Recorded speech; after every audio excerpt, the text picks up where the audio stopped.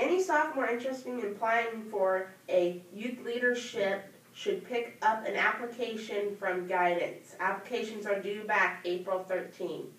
Visit the high school website for additional information.